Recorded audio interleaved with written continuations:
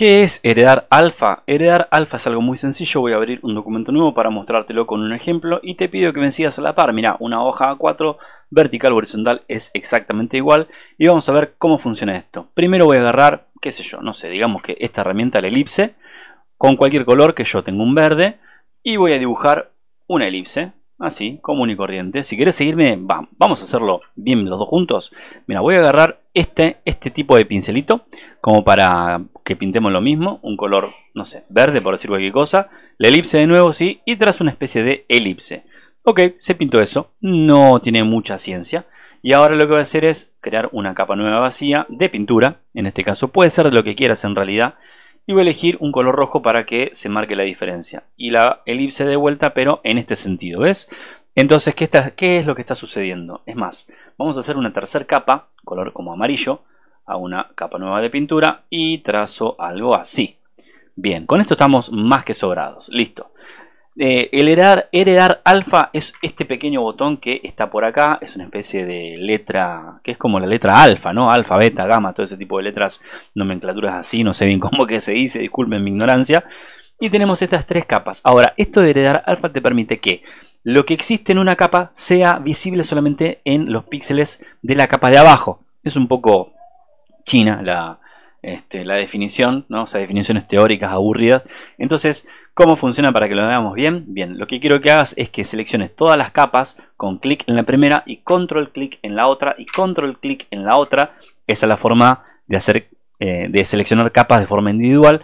Si no, me paro en la primera, voy hasta la última que quiero seleccionar, que es esta. Y como yo quiero agarrar la 3, la 2 y la 1, toco en la tecla Shift, hago clic y me selecciona desde la primera estaba seleccionada hasta la otra que hice clic. Son formas de selección. De hecho, todo esto te lo enseño en mi curso de Krita que está acá en el canal. Así que anda a verlo que ahí vas a aprender esto y muchas cosas más. Mientras tanto, continuamos con esto y lo único que te digo es que te suscribas porque acá está todo lo que necesitas. Y te lo voy a decir así. Suscríbete porque acá está todo lo que necesitas para dibujar bien.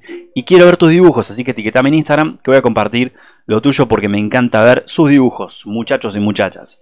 Con respecto a esto, con las tres capas seleccionadas, le damos clic derecho con un costadito y le vamos a pedir que, acá mira, agrupar y le pido agrupar rápidamente. El atajo de teclado, control G. Ahí está.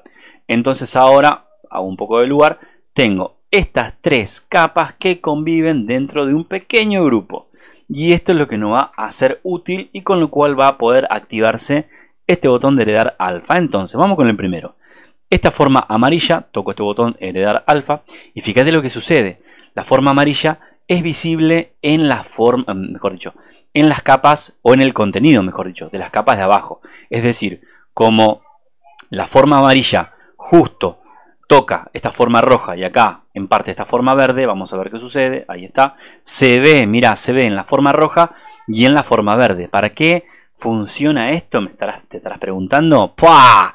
Esto es para dibujar sin salirte eh, del dibujo, pintar súper, súper bien. De hecho, hay un tutorial acá en el canal en que te muestro cómo pinto o cómo se puede pintar eh, a un Ant-Man con estas funciones y son geniales. Con el balde de pintura, nada, nada, nada, anda a verlo porque es buenísimo. Eh, no porque lo hice yo, sino porque te va a recontra servir, estoy muy seguro. ¿Listo? Entonces, si yo agrego el heredar alfa de abajo, significa que esta capa de pintura, este círculo rojo, ahora va a verse solamente en la capa de abajo. Y acá donde empiezan a sumarse las cosas. Entonces, es como que la capa base es la última, el piso, la de abajo de todo, y lo que está por encima solamente visible, bueno, en este caso en, la, en el circulito este verde. Entonces, si yo muevo este contenido, vamos a ver, esta la de mover, ¿ves? Estoy moviendo solamente el círculo verde y se puede ver las capas de arriba, ¿no? Como una especie de intersección o algo así. Si yo muevo las otras, pasa exactamente lo mismo. Entonces, depende cuál capa tenga el alfa activado. De hecho, mira, si activo las tres, esta última está esperando poder verse en alguna que exista por debajo. Entonces no tengo una más. Vamos a crear una nueva. Me paro en este que es agrupar 4. Le digo eh, alfas. Le voy a poner como para identificarlo. Este es el grupo. Creo una capa nueva. Puede ser de pintura o cualquiera otra. Yo le pido, mira, vectorial, porque tengo ganas. Y voy a crear una forma así, un cuadrado. Ahí está, un cuadrado. Que este cuadrado se genera de esta forma. ¿Por qué? Porque tengo este tipo de pincel activado. Si quisieras hacer una modificación, como lo que yo voy a hacer bien ahora, es te vas al panel opciones de la herramienta y acá vamos a hacer un poco de lugar necesito configurar esto que acabo de generar. Que como es una capa vectorial, y todo esto te lo enseño en mi curso, agarro la herramienta, esta, la flechita que está por acá, y pincho esta forma que acabo de generar. Que no es pintura, son vectores, son cosas distintas. Y ahora en la ventana opciones de la herramienta se me acaba de habilitar un montón de opciones. No tenés opciones de la herramienta, no pasa nada. Vas a preferencia, panel, opciones de la herramienta. Siempre tenés esta ventana activada que te va a recontra servir. Quiero que tenga un relleno de color, porque acá tiene un borde de color. ¿Borde de color cuál? Este. Puedo cambiar el tipo de borde, sin borde, color de borde pleno, color de borde, de borde este, degradado. Lo manejas como quieras. Más o menos grueso, como se te ocurra. Yo en mi caso le pido que quiero que tenga de color de relleno, como estoy seleccionando ahora, un color. Es decir, por ejemplo, vamos a ponerle, es más, para que veas la potencialidad de esto, voy a usar un color degradado. Y el degradado, mm, a ver, quiero que este extremo, le doy doble clic a este extremo y le digo, qué sé yo, un naranja. Ahí está, aceptar. Y este otro extremo, doble clic y le digo un, qué sé yo, un rosa. Ahí está, va de rosa a naranja. ¿El borde me molesta? Sí, a mí sí me molesta un montón. Así que vengo a la solapita acá de borde, le pido borde nada y solo trabajo con lo que es el relleno. Listo, ahí estamos todo perfecto, genial. Y déjame que el, color de este... No, estoy en, la línea, qué tonto. Ahí está, me vuelvo a lo que es el relleno, ahora sí. Eh, este extremo, doble clic. Y me gustaría hacer un pequeño ajuste. Eh, pero no sé si lo voy a tener disponible por acá. Mm, me parece que no. A ver, ahí está. Y no, no lo voy a tener. Mm, no. Bueno, lo voy a dejar así. Lo voy a dejar así, lo voy a dejar así. Listo. Bueno, sí, sí, sí. No voy a meter mucho más con esto.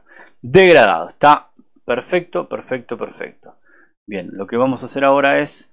Ahí está, acomodar un poco el degradado, la dirección del degradado si se quiere. Ahí está, me gustó, listo. Y ahora sí. Bien, lo dejamos así. Y esta capa entonces vamos a meterla dentro del grupo de alfas. Ojo, date cuenta algo. Todo aquello que esté dentro de un grupo tiene como una especie de pequeño espacio que indica, che, nosotros pertenecemos a qué? A esta carpetita. Entonces, esta capa que tengo por fuera de la carpeta, que voy a hacer? La meto. La meto dentro del grupito. A ver si me deja. Ahí está, ahí la logré meter, ¿ves? Eh, tiene el ojito, se puede ver, está por encima de todo, pero yo quiero que esto que acabo de hacer sea la base de todas estas capitas. Vengo hasta acá abajo, ah, ahí está, ahora es la base. Entonces, estas otras, vamos a eliminarlo un segundo, ahí está. Estas otras yo las voy agregando, las voy agregando, las voy agregando. Y como todas tienen el heredar, el heredar alfa, no me salía, van a ser visibles donde en esta que acabo de colocar yo recién. Entonces, muchachos, muchachas, amigos, amigas, eh, acá tenemos todo para dibujar y podés crear como te digo, como si fueran textura, pintura, volumen, sombra, lo que se te ocurra. Es una forma de pintar sin salirte de la imagen base. Así que si ves mis otros videos te muestro un montón de ejemplos, un montón de herramientas más, cosas complementarias, tenés de todo. Lo único que tenés que hacer es nada más que suscribirte al canal y déjame tu like, tu comentario. Estas cosas ya las sabes, las digo porque, no sé, como que tengo que decirlas de alguna forma. Pero sí me interesa mucho que me etiquetes en Instagram, pueda ver tus dibujos, pueda ver tus proyectos, pueda compartir lo que haces y felicitarte, por supuesto. Y que me digas si te, si te interesa o si querés ver alguna herramienta más o, no sé, pintamos juntos, dibujamos juntos. Eh, tenemos un montón de cosas para hacer. Hacémelo saber porque si no, no tengo chance de saberlo. Espero que te haya servido, espero verte en otro video y Nicotecniano, Nicotecniana querido, nos encontramos próximamente. Dale, chao, hasta la próxima.